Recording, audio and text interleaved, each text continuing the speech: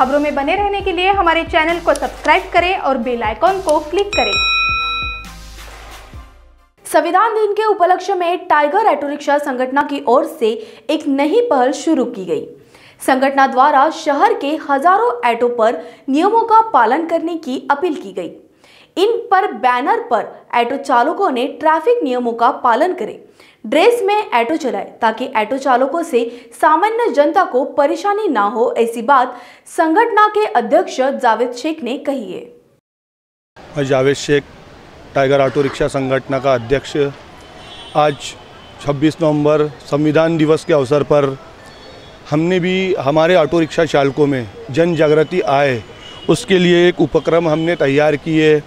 आज हम नागपुर शहर के, आज से हम लोग जो है नागपुर शहर के हज़ारों ऑटो के ऊपर में एक बैनर लगवाने वाले हैं, जिसके अंदर में हम ऑटो चालक जो है वो नियमों का पालन करें। जैसे कि ऑटो रिक्शा चालक अपने सभी कागजात जो है वो ओके रखे और ओके के साथ साथ वो अपने गाड़ी में रखे।